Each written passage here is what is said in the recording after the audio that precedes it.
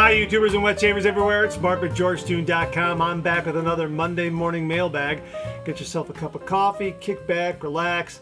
Let's talk some wet shaving and some other stuff. What do you got this morning? Hang on. Yeah, yeah, I have got a really terrific coffee. I've got uh, from Trader Joe's, Joe Coffee. This stuff is really, really good. It says here, um, Joe, an exceptionally an exceptionally smooth cup of coffee, medium roast, 100% Arabica ground coffee. Yeah, it is very, very smooth, just like my shaves, very nice and smooth. I like my coffees and my shaves the same way, smooth. Uh, yeah, really good. It's kind of a dark, overcast morning here this morning. We've had rain all weekend. And uh, you see I have some lights on here to light it because I opened up the windows and it is cloudy and rainy and overcast here in the uh, early morning hours. So that's why you see that uh, here.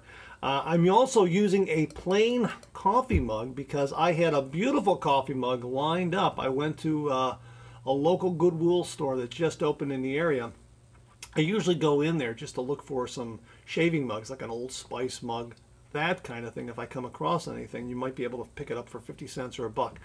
I found a brand new Dunkin' Donuts coffee mug. Brand new. They wanted two bucks for it. I grabbed it. I, I, I took it home. I washed it through the dishwasher, got it nice and clean, had a cup of coffee with it. It's just, it was, it was great. It was nice. I thought, wow, I'm going to be able to use this for my Monday morning mailbag segment with Dunkin' Donuts coffee and a Dunkin' Donuts coffee mug. And uh, I washed it. I put, it, I put it in the dish rack. I washed some other dishes. And when I went to pull out some other dishes, it got caught. The mug got caught on something as I pulled out the dish or the cup or whatever I was pulling out. This mug came out, tumbled down, and shattered on the floor. Uh, I was really, really disappointed. So I'll have to keep an eye out for um, another Dunkin' Donuts coffee mug. That's why I'm using a plastic coffee mug this morning. But that also leads me to let you know about a terrific article by Sheldon Quinn on his blog regarding the materials that go into making safety razors.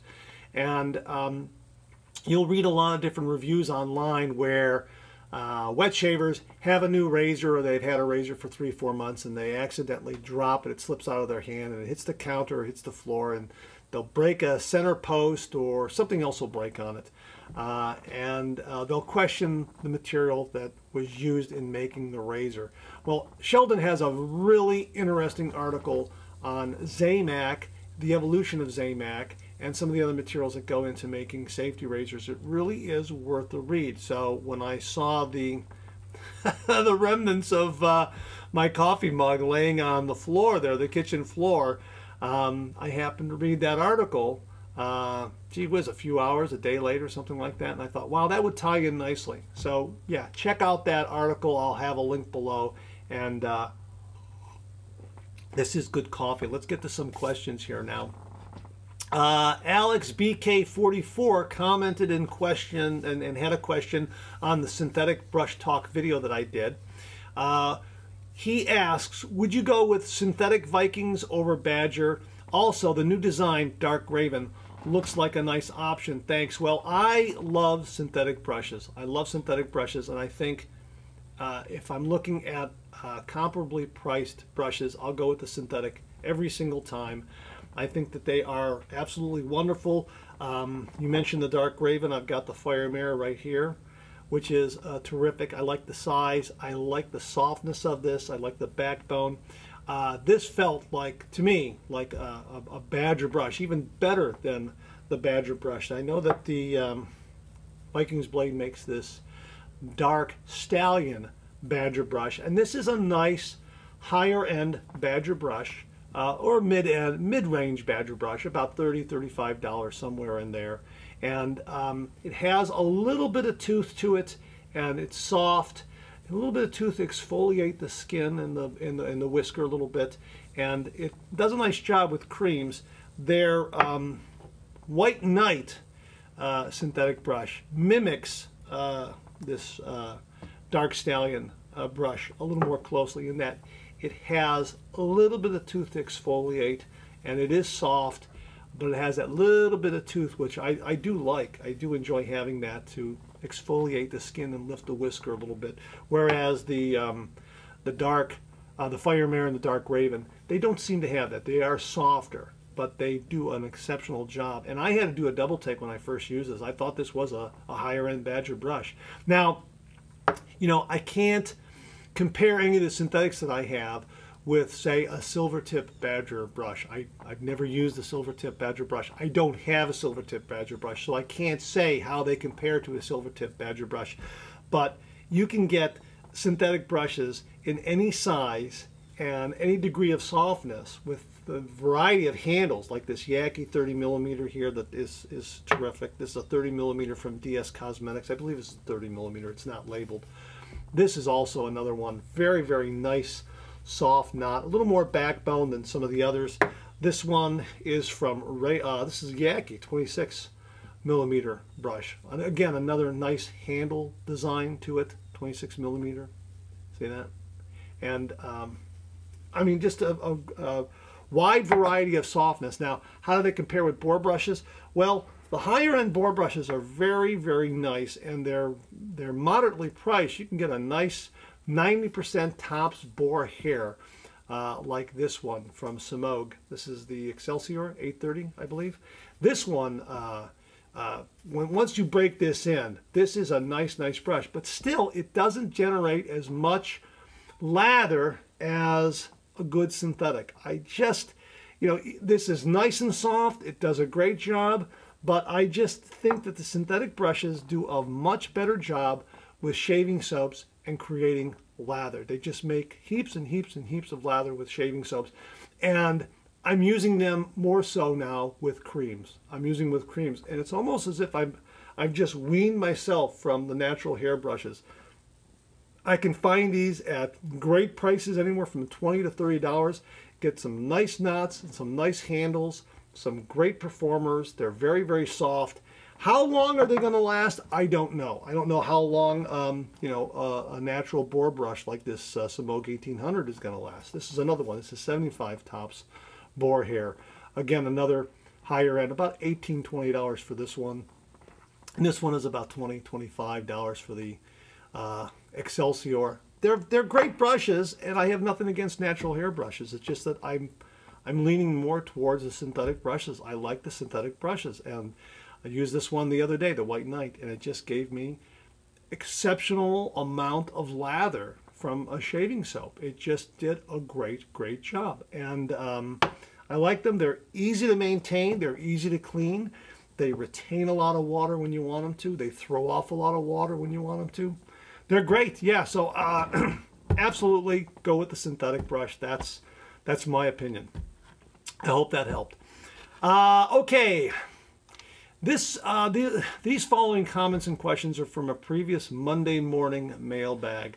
Tom Saylor says, I have two of the new Gillette razors on order from Amazon.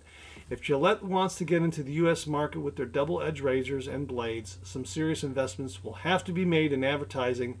Thanks for another enjoyable video. Thank you very much, Tom. Carmine says, Thanks for the video, Mark. I ordered two of the Gillette limited edition razors. Not sure why, but what the hell.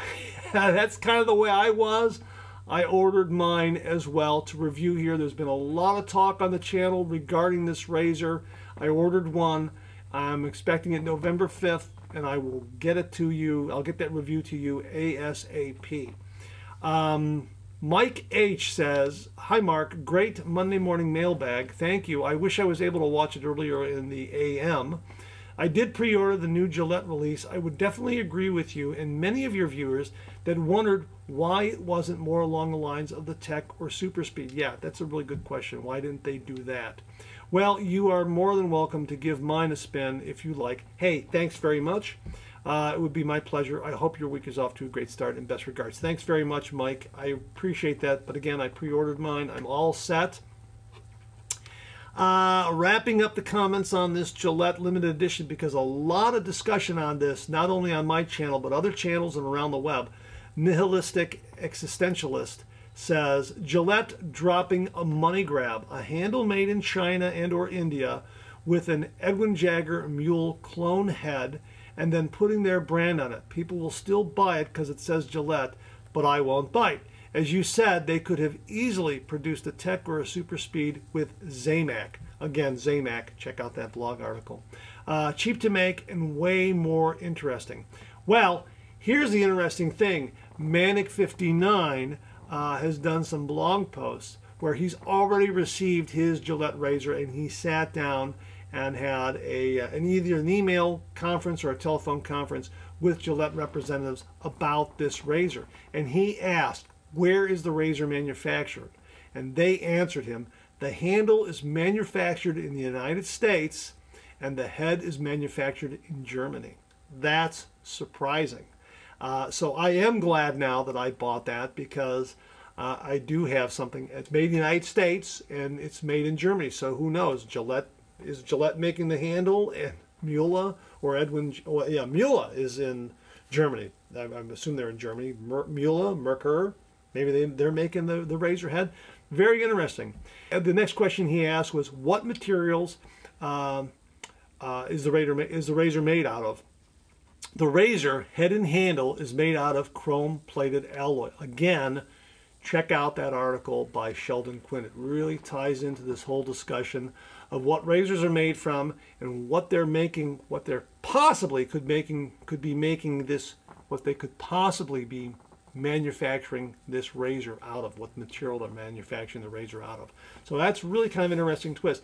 But I have mine on order, so as soon as I receive it, I will. Uh, I'm going to do an unboxing uh, and a shave with it. Uh, I don't know, unboxing a shave, separate videos all together. I haven't decided yet, but uh, I should get mine on November 5th. The other thing is also when you go to the page now, when you went to the page, you could order it. When they released it, everyone was talking about it. It said, you know, hey, here it is, order it. Then after a few days, it said limited quantity. And uh, when I saw that, I thought, well, you know what? I was kind of, okay, I'm going to go ahead and get it because there was so much talk on the channel regarding it. And um, now it says currently unavailable. So are they going to do another round of these? Uh, they have, they, have they have they sold out of, an, of an initial run? How many did they make? 500, 1,000, 10,000? That's the that's the question I'd like to have answered. So it's it's currently unavailable. But uh, hopefully, uh, with the response they got, hopefully they'll be making some more and releasing some more for the holiday season because they did say this was a holiday season release. So I, I would guess that they would, that come towards Thanksgiving they will have ramped up manufacturing and they'll have a lot in place for the Christmas holidays if they've gotten this kind of response and already sold out on that first run. Very, very interesting to see. So time will tell, and when I get mine, I will definitely review it. Um, Albert Castro asked the question, do you shave your head with a double-edged razor? Reason why I ask is once in a blue moon I shave my head bald. Yes, I do. And uh, I do this routine. Whatever I shave my I shave my my head up here, not the whole thing. I'm to get rid of this fringe. I think I think I promised everybody here when I hit 3,000 subscribers, this is coming off, and I'm also to do a giveaway. Um, but I shave this area here in the back of my neck uh, with a double edge razor. I love doing it that way. Uh, my routine is I shave it twice a week in the evening. And whatever razor I've used uh, that morning, that razor and blade combination, I just grab that and use that to shave my head. Uh, the other day I shaved it with this guy right here. This is the Thunder Razor from Global Shave Clubs International and Sheldon Quinn. It's a twist to open razor. Um, it's really a terrific uh, razor. It's on the aggressive side for me. And I've shaved with this several times. I've done a review. It's coming up this weekend. And um, I found this razor to be a very aggressive razor. It's supposed to be mid aggression, but I found it to be a little more aggressive than that for me. But when I used it to shave my head, I got a beautiful shave up there. It's, it's almost as if I was just hitting the right angle, the correct angle, and I got enough blade feedback, uh, really felt the blade, had some nice protection up there from some shaving cream, don't get me wrong, um, and uh, really just uh, maybe one small little nick here, but I don't think that was my fault. I think that was just maybe a blemish or something that was there, uh, but it healed right up. And um, yeah, so I do use uh, a double-edged razor. So whatever I have, I'll use. I just happen to have this because I was using it and getting ready for the review, and this did a really, really nice job. This did better on my head than it did, I, I, would say, on my face. It's aggressive. It's it's on the aggressive side for me, but that aggression really worked well for my head shave. Um, I like to use longer handled razors when I do my head shave, so something like the Vulcan comes in really handy because I can put the blade in and lock it down and then you know grab the end of the uh, end of the handle and do the back of the neck very very easily because of the longer handle. Sometimes I like to use an adjustable razor like the Vikings Blade Emperor uh, because I can dial it down. For instance, uh, July 6th, this past July 6th, where that was so close to the 4th of July weekend, I think July 6th was a Saturday, I think, this past year. We had friends and family over, and, uh, you know, in running around trying to get uh, things ready, uh, I was going through a low, low doorway and I bumped my head right here, and I put a big gash on there, and I was not able to use a double-edged razor to shave my head. What I usually do is I go right to an electric razor because that wound is still fresh. And as it starts to heal, then uh, I'll wean myself off of the electric razor. I'll move over to a cartridge razor for a couple of shaves.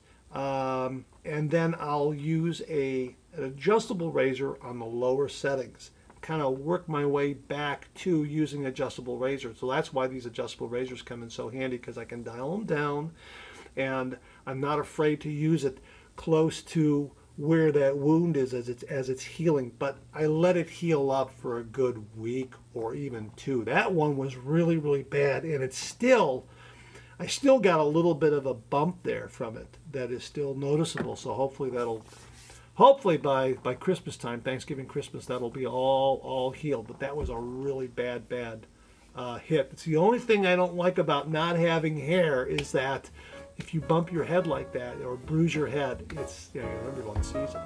But other than that, yeah, I'm gonna be. Uh, I use a double-edged razor. I love using a double-edged razor, but there are times when, because of bumping that head there, uh, you know, I don't. I don't use it. I have to remember to wear a hat, so if that happens, the worst that'll happen is it'll be a little scrape. All right, um, that's it. Thanks very, very much for tuning in. I really do appreciate it. Please share, please subscribe. Please like, hit that bell so it'll give you a yell the next time I upload a video. Uh, comment below, let me know. Check out my blog, georgetoon.com slash blog for my comic strip George, other cartoons, other videos like this. Check out my Amazon product page at amazon.com slash shop slash markszorady. You'll find all the products I review on this channel organized and categorized. You can find everything in a snap very easily. Thanks very, very much for tuning in. Make it a great week.